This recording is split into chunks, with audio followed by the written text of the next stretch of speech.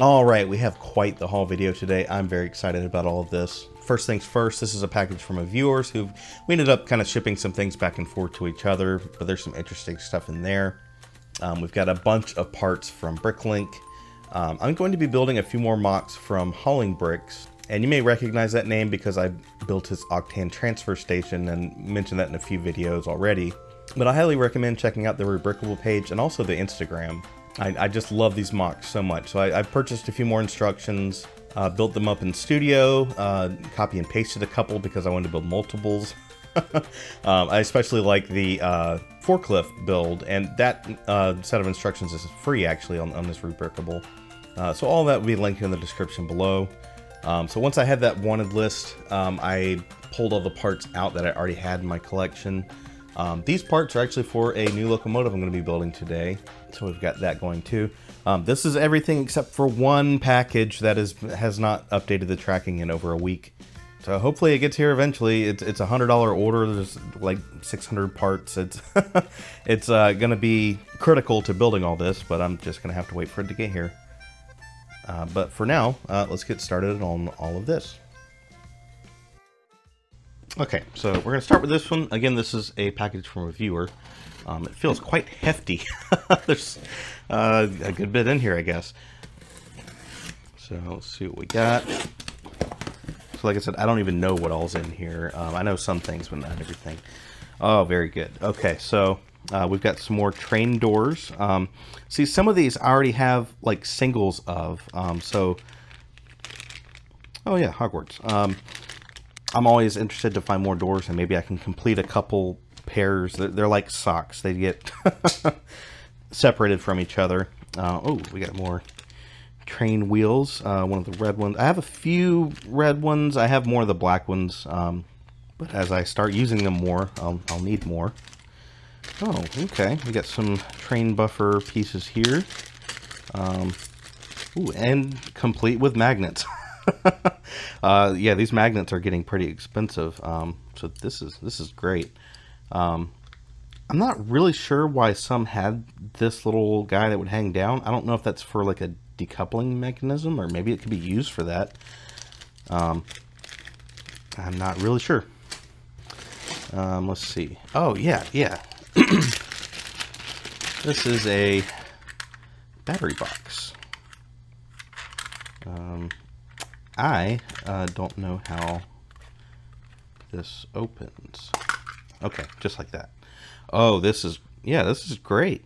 I don't see any battery corrosion or anything like that. Um, yeah, that looks just fine. So that's very good. I have some uh, 4.5 volt train stuff upstairs, but nothing complete, and I never had one of these guys. So that that's really great. Um, let's see. Ooh, we got some 9 volt track.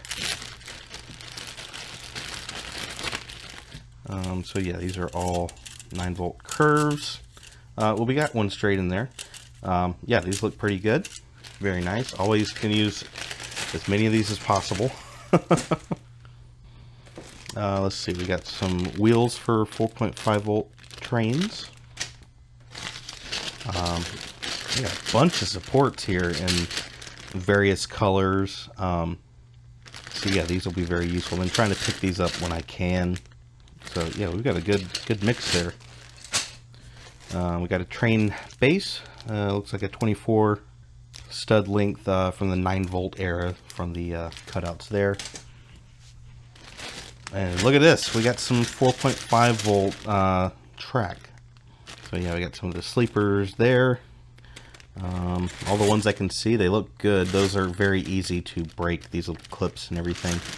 Um, I have a fair bit of 4.5 volt track upstairs. It needs to be cleaned. It's extremely dirty. Um, I just haven't got around to it, but I, I, I, want to have at least one 4.5 volt train. I think that'd be really cool. I'd like to build a huge layout with like one of every train. you know, 9 volt, 12 volt, power functions, powered up. Uh, just, you know, kind of one of each. I think that'd be really cool. Okay, now we've got a, I didn't have this train base. I'm not even sure what era this is from, but uh, yeah, we've even got the magnet on there. We've got an absolute ton of plates. Um, they just had a bunch of plates. Oh yeah, we got the big 16 by 16s, um, some 6 by 16s. Um, you know, pretty much anything in light bluish gray, dark bluish gray, or black, I end up using quite a lot of. Uh, and then we got some more of these guys with the kind of grill plate. Um, so this is great. That I'm always ordering these. You, you see them. uh, ordering that stuff. Uh, yeah, we got a 4.5 volt motor. Very good.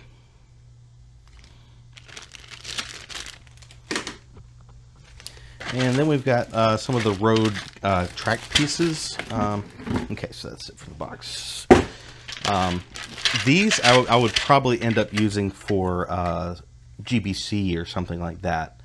Uh, so we've got like the, this is a ramp that goes down, we get straight curves, uh, and a Y connector. So that's that's really cool. I have a couple pieces.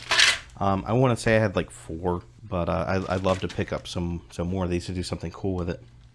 So this is great. This is going to help quite a lot. Um, so I'm very much appreciate it. Okay, so this one um, is not Lego, but it will be used with Lego. Um, this is, um, this should be comparable to the BNTech Go wire. This is actually from AliExpress, so this is much cheaper. Um, and I imagine they may ship to a few more places than um, Amazon would. I've heard plenty of people say they can't find the BNTech Go wire where they're from. Um, holding this, and, and I mean, this, it feels exactly the same. So this is a, a silicone insulation. Um, so I have to do some testing with that. Again, I'm planning on making another wire repair video soon. Um, so this will be definitely be a part of it to see how viable this is as a alternative to the BNTech Go wire, which is, which is pretty expensive and again, hard to find for some folks. Yeah, this guy. Uh, there's a real train going by, and they're just laying on the horn. Um, I don't know how much that's going to come through. I'm, I'm, I've given up at this point um, with the background noise. There's um, cicadas and crickets and just all uh, trains and cars, and it's it's getting really annoying. Uh, I will literally like stop talking with my hands frozen for 30 seconds to wait for some really loud thing to to finish. It's it's an it's really annoying. Uh, maybe I can do some kind of soundproofing or something. Oh yes. So well, these look pretty rough.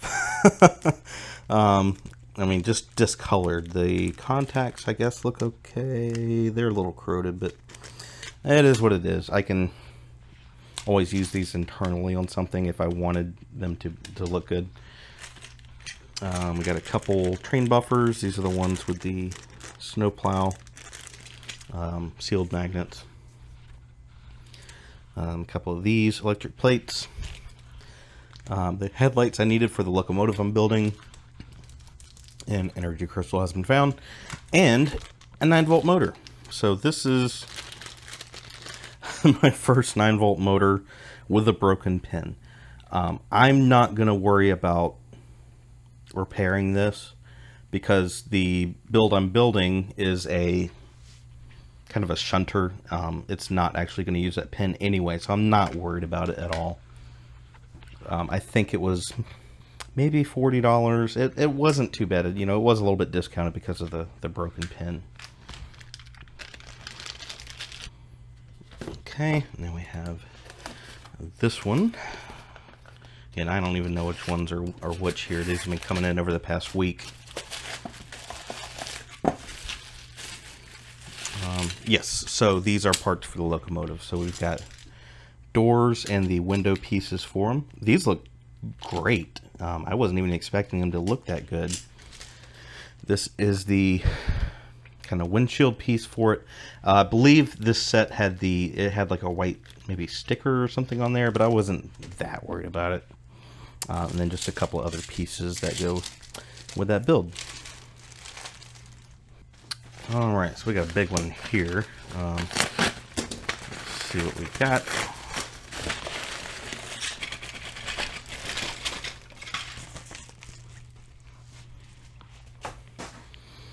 Okay, um, so I got a bunch of these in case I wanted to build a Octan tanker truck. So one has the stickers on it and the others are just the blank pieces. I have some of these already, but many of them are discolored or at least dirty. Um, I got a bunch of these rock pieces. Um, I guess I didn't mention I'm building a little mine train. It's from an official set, um, so we'll, we'll see that at the conclusion of the video. Yes. Um, so yeah, I needed these train windows for that train build. Um, again, they had a couple Octan things. So this is actually the same door. Um, they're both the same side, so I need to try to find the other door. Um, another little Octan printed brick. Um, Octan printed brick. A um, bunch of fence pieces. These look really good. These all look matched together. They don't look super yellowed or anything like that. So that's great. I'm been stocking up on, on fence pieces. um, they had a Time Twisters dish. Um, just some 2x3 black plates, needed those. Um, some light bluish gray plates. They kind of... No, that's light bluish gray. Yeah, okay. Um, and a bunch of pieces here. So we got some wheels for some of the builds I'm doing. Um, yeah, these are for the forklift. Um, some kind of panels. Um, and these guys are for the the little mine train build, but I also thought these would be useful. I've seen people build like uh, various freight wagons that, that use those. Um, yeah, this one of these does not look like the other. This is way different of a color than um, the others, but I, I should be fine. I should have at least one of those in my collection. Okay, so this package is one of the largest in this haul, um, along with the one that I'm still waiting on to be delivered. Uh, let's try to get this opened up here. Okay.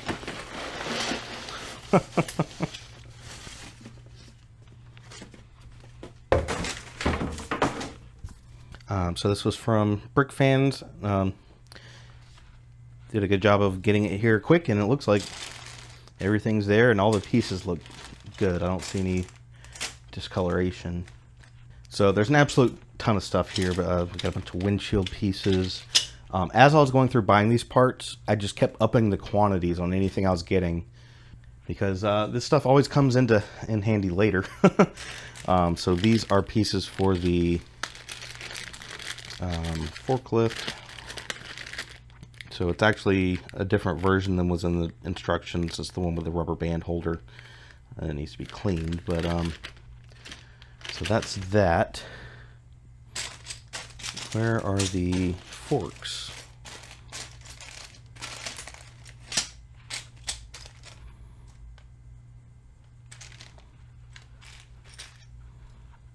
Oh, here they are. um, so these are the kind of I don't know what roll cage. What do you want to call that um, for the forklifts? Come on, focus. And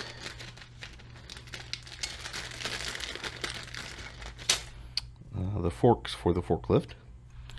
Uh, so they should just slide into these. Yeah, I guess there's not really much here that really stands out, um, but just this is all the pieces I needed. So I, I think they did a really good job with this. Um, not every piece is in its own bag, and I don't expect that from people. Um, you know, throwing a, a, few together that are easy to pick apart from each other. Um, I'm, I'm fine with this, absolutely. So I guess I can uh, start building what I can, but like I said, I'm waiting on that other big order. And it should be here sometime next week, so we'll see you then. All right, well, it's a few days later. This package finally came. I'm not sure if it was the post office or what. The label was printed 11 a.m. on Monday, and the tracking wasn't updated until Thursday at like 1 a.m. I, I, have no idea what happened there. If it just took them forever to get it dropped off, but then doesn't explain why it didn't get scanned for four days. I don't know. Um, but it is here, finally. Um, it sounds pretty loose. No, okay, it's at least in one bag. Well, okay, I'm not going to be able to really show a whole lot in here. Uh, there's some bags, but uh, yeah, we've got just all kind of stuff. Some Oh yeah, I did get some uh, bogey plates, always pick up those. Oh, and yeah, some train bases. What happened is I was trying to get over, I think, a hundred bucks for free shipping. uh, so I did that. Um, but yeah, there's just a bunch of parts uh, that are going to go to all these trucks that I'm building. Yeah, just a bunch of parts. So uh, at this point, I'm going to take this upstairs, get all these built, and then I'll be able to show them all off. So we'll see you on the other side. All right, well, here's all the builds. Um, everything except for uh, the two train builds, again, is from Hauling Bricks. These are his MOCs. Uh, I will link the Rebrickable and Instagram accounts below. And like I said, the uh, these little forklift guys, this is uh, free instructions that you can download. Um, the others, I think the trucks were like a few bucks each, like $4. Like, it's not much at all. Uh, so they're very fairly priced, and even the builds, like just the parts usage, um, it wasn't too hard to part these together. Um, there wasn't a bunch of really weird or unique uh, kind of parts. um, like I said, the forklifts, I use the rubber band version. Um, these are definitely not the correct rubber bands. Um, and uh, that's why this is the only one holding a pallet because they are a bit heavy. Um, so like these uh, with the rubber band, they're just going to tip over, uh, which is fine.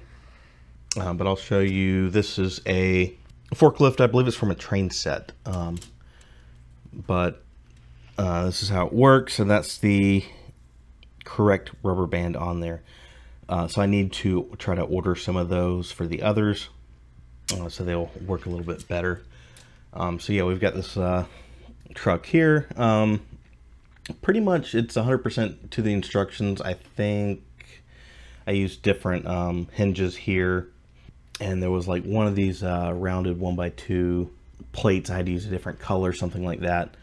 Um, and we've got the semi truck here with all the different uh, pallets in the back. And I, I just think they look so great. So I can't wait to try to build more Octan stuff and then be able to have the trucks uh, there. I think it'll look really good. Um, again, this is a from the I think the Loudon Hall Railroad. Um, the main difference is one the buffers. I use modern style buffers, and this top part here is originally in light gray. Uh, I was going to use light bluish gray, and realized that this uh, slope piece here in light bluish gray is like 20 bucks. uh, so I quickly gave up on that. Um, I tried light gray, um, but see you've got a 4x4 plate here and you've got the slope bricks here and a 1x2. I could not find these in light gray that all matched each other. It just looked awful. Um, so I just put a black roof on for now. I think it looks fine. You know, who's gonna, am I gonna get called out on this in the comments? Well, probably. Um, and then inside, um, normally you would have a little engine build. But since uh, both of the lights in the front and there's another set in the back here are actually lit. Um, let's see if I open up the door here uh, you can see the 9 volt lamp there. Um, it was a bit of a trick to get it done. Um, there's a cable inside here that goes from the motor to the front and then a plate underneath each of the uh, the lights. Um, so yeah, there's the cables a little bit coiled up in there and it just comes out there to, to the front. Uh, so I didn't have to build the stuff internally, even though I did order the parts to do that. Um, and then also I'm, I'm ordering a uh, red light prism to go in the back here because uh, I think that'll look a bit better. Um, this is the, it's from the set The Mine. I had never even heard of this set. And, and when when I was looking for parts, um, I'm always on Bricklink and I'll say, okay, what part does this set, or what sets does this part come in? And this set just kept showing up. Uh, I think it's 4214 The Mine. And then I was just kind of intrigued. So I clicked on it and it's got a build. It's basically just, I think it's just one car. Um, but I wanted to build it and I built it with three cars. Um, and it runs on the narrow gauge track. Um, so the only official narrow gauge track is these corner pieces. Uh, and then there's a ramp piece, which you pretty much never see used because it's not, it's too steep. But the rest of this is TrixBrix. Um, so like this uh, straight section here and the uh, switch track here. Um, but yeah, it rolls over it just fine. I think it's super cute. Probably too small to motorize, but I could still use this in a build somewhere just as a static model. Um, but I just thought it was really cool. It wasn't very expensive to part it together. Uh, so I threw that in with the rest of this. So yeah, another successful haul video. Um, I'm loving these builds. I can't wait to integrate them into larger builds and layouts. And if you want to talk about this kind of stuff, uh, feel free to join our Discord server. It's been very active lately. I've actually had a hard time kind of keeping up, but uh, we're just talking about Lego trains and Lego builds and uh, other stuff, computers and computer games and whatever else. Uh, but it's been an absolute blast. And if you want to help support the channel, we do have channel memberships and you can see videos early without ads, get your comment in there first, all that kind of stuff. So, yeah. Thanks for watching. We'll see you guys in the next one.